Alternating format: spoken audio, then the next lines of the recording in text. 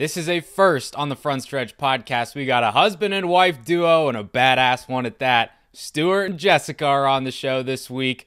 Of course, you guys know they're making their truck series racing debut on the Bristol dirt track along with everybody else.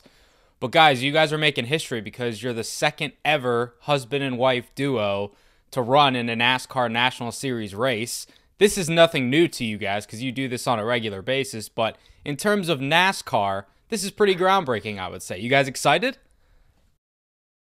Yeah, for sure. We're super excited. I mean, like you said, we do it a lot. We race against each other, but not quite at this uh, level, at this stage, mm-hmm. um, with this much attention. So it's it's going to be a lot of fun. Yeah, absolutely. Um, having Jessica as a teammate, you know, the past couple years on our modified team has been awesome, and uh, you know, really excited to uh, bring her on board HFR and our NASCAR team, and uh, you know, see what we can do. Is it weird calling your wife or your husband a teammate, or is that just like you guys used to it now? Um, I don't know. It's a little different. I, I think we're used to it. We're, we're kind of life teammates. Uh, we made that decision years ago. Yeah. Uh, so to be, to be racing teammates on top of it is uh, is pretty cool. Yeah, bad decision by you, Jessica. So how how did this opportunity to run together in this race come about? I mean, this is for either of you guys because as we mentioned, you know, you guys do this on a regular basis with the modified team, but doing it in trucks is something that hasn't been done in years, maybe ever. So what kind of sparked the interest for both of you guys? Well, just on the team standpoint, um, you know, having the equipment, uh, the resources available, and, and, the manpower to do it. You know, we, we started our own team obviously a year ago or a little over a year ago now. And uh, the truck that Jessica is going to run is, is one of the first ones that we acquired. Uh, we originally tried to build it into a speedway truck. It was going to take a lot more um, time than what we had to get ready for Daytona uh, last year. And it just kind of so it sat in the corner. And then, you know, with the schedule coming out this year with two dirt races, you know, we decided to build a second dirt truck and then, you know, Chris Larson, um, you know, our partner and, and, the owner of Halmar International, kind of got behind it and was like, you know, let's let's run another driver. And then we got kicking around driver. He said, well, why don't we just put Jesse in it? So uh, that that's how it came about. And um, you know, Jess is is obviously very marketable. Um, was able to bring a lot more sponsorship on board between you know her sponsors, Corpac Merchandising, Parks companies, and, a whole host of other uh, partners. So um, it all came together. Uh, you know, as a team owner, part of it, that's how it kind of came together. Um, but then, you know, having Jess as a teammate, it, it's going to be awesome. We'll be able to bounce a lot of uh, a lot of different setup stuff and um, you know a lot of ideas off each other during the practice sessions Friday night. Jess, I'm curious for you. Is it nerves, excitement, a little bit of both coming into this specific opportunity, one that you've never done before? How you feeling?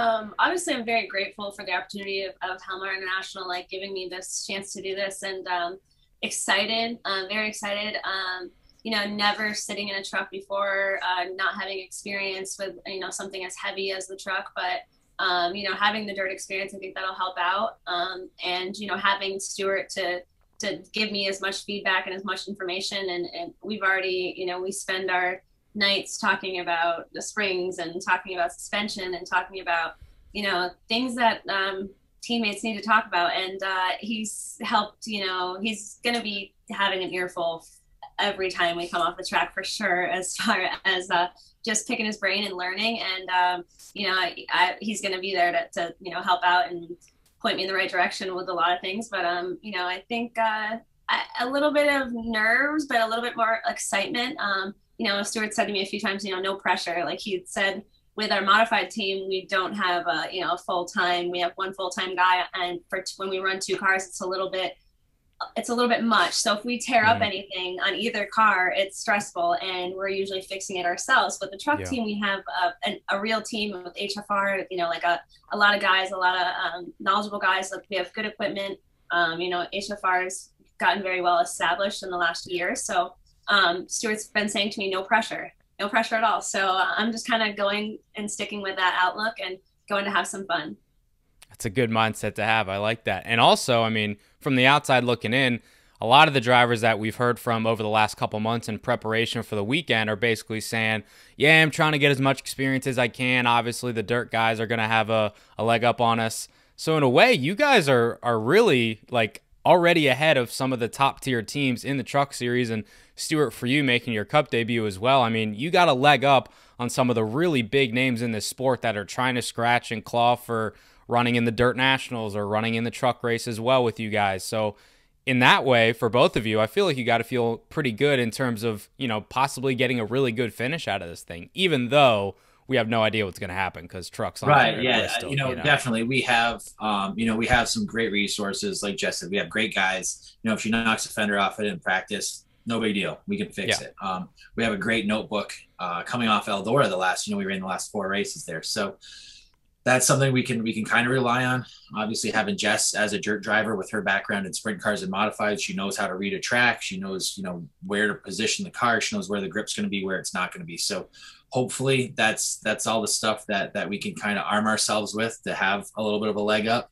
And you know, but you never really know. So um, that that's the homework and that's that's the background that we've done to, to try to be ready, uh, make Jess as, as comfortable as possible. Uh, a friend of ours, Ivan Jocelyn, races a pro stock at Fonda Speedway, was, was cool enough to let Jess make some hot laps in his car down cool. at Georgetown Speedway in Delaware last weekend, which which I feel is is pretty similar. You know, um, a, a, lot heavier car than what she's used to, sitting on the left side. So uh, she looked really good doing that um, in and out of the car. So um, you know that that's that's some good good experience I think that, that she can take into it. Obviously, not being able to test the truck kind of mm-hmm. stinks, um, even as a rookie. So that's that that's the, that's the background. We've kind of like I said, we've armed ourselves as much as we possibly can. We feel, and uh, and then we'll just go there and, and hopefully some of it pays off. I drive by Georgetown Speedway whenever I head down to the beach, and I've never actually gotten able to go see a race there because ever since I've dri- driven by, it's during COVID. But the fact that you guys drove down there and got to test there, that's pretty cool. So hopefully, maybe I'll be able to see you guys down there at uh, at some point. Yeah, you got to check it out. Georgetown's uh, quite the place. Oh yeah, no doubt. Mm-hmm. I'm curious too. I mean, th- this is going to make for some good pictures and some good like scrapbook material this weekend. You guys got to take some really nice pictures, hang them up on your wall, look back in like 20, 30 years when you guys probably are actually going to still be racing. But be like, "Hey, remember the Bristol dirt race? That was pretty badass." And like I'm sure your kids will be looking at that too and saying, "Wow, mom and dad did that." Yeah.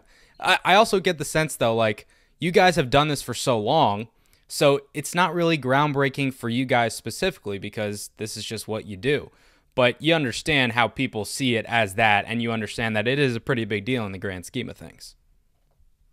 Yeah, I mean, to us, uh, you know, we both grew up in racing. We both grew up racing go karts and modifieds, and you know, we had one of our first dates at a drivers' meeting. You know, we were racing uh, both at the same track in uh, 2004. Uh, Stewart it. won the track championship with a modified, and I won it with a sportsman. And uh, we've just done it together our entire uh, relationship and our you know entire lives we've done it. And we were able to you know to do it now as a family and to have our son parker included and, and to have him um, so interested in it and so into it. And um, i haven't raced as much you know since we started a family and we started a business. And so just now you know parker's five and he's doing he's doing amazing. Um, was diagnosed on the autistic spectrum um, at a year and a half. So he, the last four and a half years have been very intense. Uh, ABA therapy. Um, it's taken a lot of time, and it's you know his the focus has been on Parker, and Stewart's kind of had to you know, I've been you know Stewart's the the, the breadwinner, and Stewart's the one who uh, he's you know supported the family and gone out and raced and done this as a career and done very well at it. And um, been fortunate enough to you know get hooked up with Halmar International and Chris Larson and you know, to build this whole team and to, you know, kind of build our lives into what it is now. And uh, we have, you know, our, our business also. And um, now that our son Parker's, you know, doing amazing and responded so well to the therapy, and finally, like, you know, I, it's, you know, I can get back into it a little bit more and get some more races in and do what I love to do and have him be involved in it and have him love it just as much as we do is awesome. So we're really looking forward to, you know, being able to do this together. That's great to hear. Yeah, I mean, when when you walked in and sat down, you know, somebody's got to work around here in this family. Yeah. We're in the screen printing shop right now. No, Jess has done excellent. Um, you know, we started this business somewhat together uh, in 2015, just before we had Parker, and then uh, since then she's just been 100% um, with this, and I've been able to kind of back away from it a little bit, which is cool. But no, she's built this thing into to to really a, a, great business and done a great job with it. And, uh, I'm really proud of her because of that. And you know, now that everything's you know running well, Parker's like she said is responding well to therapy, and and um, we'll we'll hit kindergarten next year. You know, at full speed like every other everybody else. And um, you know, now she can really sink her teeth back into racing a little bit, and, and we're excited for that too. That's great to hear. Yeah, you guys are building an empire over there. But uh, for for people that may not know, can you tell us a little bit about the business that you guys do run and where you are right now? Uh, we're in upstate New York, uh, Sprakers, New York. Um, we have a screen printing and embroidery business. Um, we started the business really mostly to do our own screen printing, our racing T-shirts, and then mm-hmm. we branched out and done a lot of businesses and other racers, and um, it's been really busy. It's a very small business. Um, we don't have any full-time employees, so it's uh, sometimes very stressful, but it also helps to you know, be able to schedule work and schedule, um, you know, when we need to take off to go racing and, yeah. or when we need to take off for Parker and for Parker's therapy, or if a therapist is coming in the middle of the day and we have to go pick them up at pre-K and come home for OT therapy, or, you know, so it's, um, we, we built this business, we started it knowing that we wanted to start a family and I wasn't going to be able to race as much. And, you know, we um, built it as that. And then when we had Parker and, you know, with some of the obstacles, um, it's just kind of worked out. So we um, we've kept it basically pretty small, but uh, it's very busy all the time. Um, and we're busy not only with our, our own stuff, but uh, other racers and other um, companies. Um, yeah, and- it's it's been good. You know, we, we wanted to start something. You know, racing might not uh, be a be an income for us forever. Um, mm-hmm. So you know, we wanted to start something that we could always fall back on, and uh, it's been an equally full time job, you know, for Jess uh, since we started. But she's done a great job, and and you know, I'm proud of her. And um, she's got she got quite a uh, quite a quite a business here going. So um, it's cool. Yeah, you guys are killing it. I I always say it's better to be busy than bored, but that doesn't mean that it's less stressful. So it's exactly. kind of a catch twenty two yep. type of thing. Yeah, absolutely. You guys had a funny story that you told yesterday um, on the big media availability uh, when you told Parker that uh, Jess that you were going to be racing, his reaction was a little bit funny. Do you mind sharing that again? Yeah, um, we talked about how uh, you know we mentioned you know Parker next week, mom and dad are both going to run the truck, and he's like, whoa, whoa, mom, no, dad races the truck, you run the modified, and I'm like, well, actually, buddy, this race is going to be a little bit different because we're going to race the trucks on the dirt, and he's like, whoa, no, no, no, no, trucks don't race on the dirt, trucks race on the pavement, and the modifieds race on the dirt. And then one of his first questions is always, is it going to take for a long time to get to this racetrack? That's always one of his first questions too. Um, but he's has not wrapped his mind around uh, racing the trucks on the dirt or mom racing a truck at all. So it's going to be interesting. I love that. Well, I mean, honestly, he's pretty pretty much saying what all NASCAR fans thought when they announced it. I mean, so yeah. he's yes. he's he's with everybody on there, so he's he's got a good head on his shoulders for sure. Um, a couple more questions for you, Stewart. You're making your Cup debut this weekend as well. Curious how that specific opportunity came about with Spire, and uh, was that something that you were actively seeking out? Did they seek you out? How did that come together? We had we had talked to a couple of different teams. Um, you know, Halmar was was big on on trying to get in to do something. You know, obviously coming off Eldora and and and, and being a dirt track race team mm-hmm. uh, up here in the Northeast. That's something Chris was excited about. And you know, like I said, we talked to a couple of different teams, and a friend of mine, Glenn Sullivan, gave me uh, TJ Puchyr's number from Spire, and you know, we went down there and met uh, when I was in North Carolina a couple. Oh, about a month ago now, Trip Bruce and I mm-hmm. went down and met with TJ and and talked to him, and then um, it just kind of kind of uh, came together really quickly, but it was it was been really uh, a really comfortable experience. TJ and Jeff have been awesome. Uh, Kevin Bellicourt, being the crew chief, is somebody that I've known a bunch of years now. After we worked together uh, when he crew crew chief Justin Haley at GMS. Yep. So it's uh, it's been a great um, you know just a great deal working together with these guys. They've been they've been awesome. They're a they're a smaller cup team, obviously, but uh, you know they have aspirations of getting bigger and better. So hopefully we can we can have a good run with the 77 car um, and then not only do good with the 77 but help you know Corey LaJoie uh, you know right. have being a, being a pavement guy not a dirt track guy but make help him have a good run uh, at Bristol too so like I said there's some notes that that hopefully will apply from Eldora to just kind of some you know baseline setup stuff Mm-hmm. Um, obviously, Kevin was there with, with Justin, and and uh, Justin's been gracious enough to to you know kind of give us the seat, and uh, you know he's a good friend of mine, so um, he's done excellent in the 77, so hopefully we can have a good run and then you know turn the reins back over to him for for the rest of the year. And um, yeah, but no, it's been been really cool. Um, Spire, they're they're a great team, great guys, really cool. They work out of the old Alan Kulwicki shop down there in Charlotte, and it's yeah that was cool to kind of check out, and uh, I appreciate that history. And and uh, yeah, it's it's it's fun. It's it's a, it's a dream come true, obviously, to be at this level, and uh, you know, thanks to them, thanks to Halmar, and, and I'm looking forward to it. For sure, gonna gonna be fun to see you make your Cup debut there. I know everybody will will be watching intently. Uh, last thing in terms of the the track and the race itself, and either of you guys can take this one. You know, a lot of people and seat time is seat time for sure, but a lot of people say you know the dirt modified does not really compare to a heavy 3,500 pound stock car or a truck that's going to be racing on this surface. You guys don't know because you haven't taken laps in, in the big heavy truck or car yet.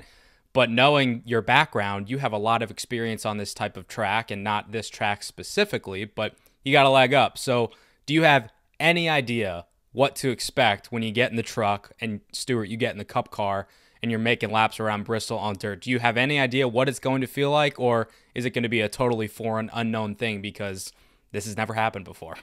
Yeah, I think you know taking taking that Eldora experience and trying to apply it first, right, and, and use what mm-hmm. we know there, um, and then what we know about uh, red clay. You know, Jess has raced a lot, you know, in, in southern Pennsylvania and in, in, the southeast on red clay, so she knows what that grip level is, um, how it changes. I think it'll be a little bit more abrasive and, and generate a little bit more tire heat than what Eldora uh, did the past couple years. You know, being more of a black clay and a little bit more glazy slick. Mm-hmm. Um, you know, so so that experience, being able to read the track, uh, read where the grip is as the track changes. Uh, you know, I think that's that's something that that will both have a little bit of a leg up. We hope, um, you know, over some of the other teams, but um, you know, it kind of remains to be seen. But but that's the that's the experience we're gonna tap into uh, getting into it. Uh, just as far as comparing Bristol to like another dirt track, we you know we the only thing we really can you know Lebanon Valley, um, just east of Albany, we, it's a mm-hmm. high banks, fast. Mm-hmm. Um, track. So uh, as far as the, the banking and stuff, we have both run the modified and the sprint cars on that track, and that would probably be the most similar track that we could go to. But obviously yeah. the the clay and the surface is going to be a lot different, and the the truck compared to the modified and the, and the sprint car is going to be a lot different. But um, yeah, it's just um, I think we'll be all right. I think you'll be all right. Yeah. I, I was even going to ask too, like if, if Jess, you've done any sim time, but I don't really think you need it. You know what I mean? Um, I, have never been in a real sim, but as as right. far as i racing goes, I'm absolutely terrible, and I start throwing things, and Join I. Don't, I, don't, I don't have any patience. I'm not very good at no, it. Um, yeah. Stewart has a lot more patience when it comes to it, and I I get frustrated and mad. oh yeah. Um, yeah. Short fuse. I'm the same way. I'm terrible at it, but good thing I don't run. I, I don't drive race cars. I hold a microphone for a living. So. um, all right. Last thing you guys are teammates in life and on the track now. But when it comes down to it, you know I was going to ask this, right? If one of you's first, one of you second, coming through three and four to the checkered flag, would you move the other person to win? uh, That's Parker does. Parker's, yeah, uh... no, absolutely. If we could be in that situation, um, you know, we're gonna race each other just as hard as we'd race anybody else, mm-hmm. and that's and, and, you know, uh, on the team, you know, owner aspect of it, that's all Chris Larson would ask of us. Um, just to race as hard as we possibly can. Yeah. Um, you know, hopefully we don't wreck each other and one of us ends up with a win, maybe, you know, if we never got into that situation. But yeah, um, no, Jess is just as competitive as anybody. I've seen her, you know, rough people up after the checkered, spin people out when, when they did her dirty. So, um, you know, I, I think we'll, we'll race just as hard as we can. You know, we'll work together up to that point to, to try to get both trucks fast and then uh, then then all bets are off. It's a good thing we have some spare bedrooms in our house. that is true. Yeah, I mean, I know you guys. You're not gonna take shit from nobody, even each other. So I, I have no doubt about that. Um, well, guys, this has been really fun. I thank you for your time. I know you're busy. Um, so best of luck this upcoming week at Bristol in the truck and Stewart, you in the cup car as well. And uh, you. hopefully you won't be using those spare bedrooms, but I don't know. I, part part of me really wants to see Jess just spin you out, Stewart. That's just me. I don't know. Thanks, guys. I'm sure you're not the only one. yeah, that's right. All right. Thank you guys. Appreciate it. All right. Yeah. Thank thanks, you. Davey. Yeah. See you, man.